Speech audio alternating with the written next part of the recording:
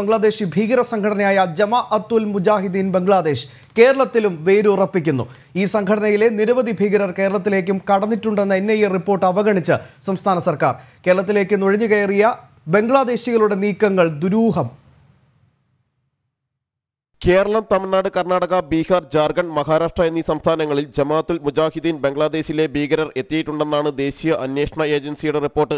ഇതനുസരിച്ച് മറ്റ് സംസ്ഥാനങ്ങൾ നിരീക്ഷണങ്ങൾ ശക്തമാക്കുകയും സംഘടനയുമായി ബന്ധപ്പെട്ടവരുടെ വിവരങ്ങൾ എൻ ഐക്ക് കൈമാറുകയും ചെയ്തിരുന്നു. നൂറ്റി ഇരുപത്തഞ്ചിലധികം ഭീകരർ ഇന്ത്യയിലെത്തിയതായും കൂടുതൽ പേരും കേരളത്തിൽ കഴിയുന്നുണ്ടെന്നുമാണ് സൂചനകൾ. എന്നാൽ സംസ്ഥാന സർക്കാരോ രഹസ്യാന്വേഷണ വിഭാഗങ്ങളോ ഇക്കാര്യങ്ങൾ ഗൗരവത്തിലെടുത്തിട്ടില്ല. ഇവിടെയുള്ള ബംഗ്ലാദേശികളുടെ വിവരങ്ങൾ പോലും കേരള പോലീസിന്റെ കൈവശമില്ല.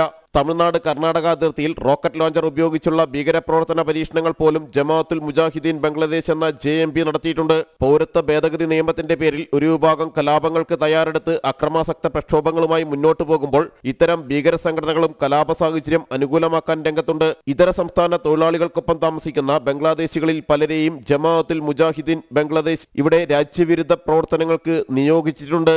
മ്യാൻമാറിലെ റോഹിംഗ്യൻ മുസ്ലിങ്ങളുടെ പേരിൽ ഇന്ത്യയിലെ ബുദ്ധവിഹാരങ്ങൾ ആക്രമിക്കാനും ഇവർ പദ്ധതിയിട്ടിരുന്നു.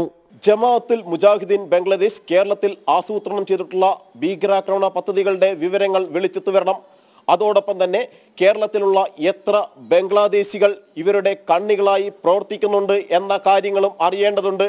ഇതിനൊപ്പം വിധ്വംസക പ്രവർത്തകരായ രാജ്യവിരുദ്ധ സംഘടനകൾ കേരളത്തിൽ പ്രവർത്തിക്കുന്ന ഈ സംഘടനകൾ എന്തെല്ലാം സഹായങ്ങൾ ഇത്തരം ഭീകരവാദ സംഘടനകൾക്ക് നൽകുന്നുണ്ട് എന്നതിനെക്കുറിച്ചുള്ള വിശദമായ അന്വേഷണവും നടക്കേണ്ടതുണ്ട്. ജിജീഷ് കരുണാകരൻ ജനം കൊച്ചി.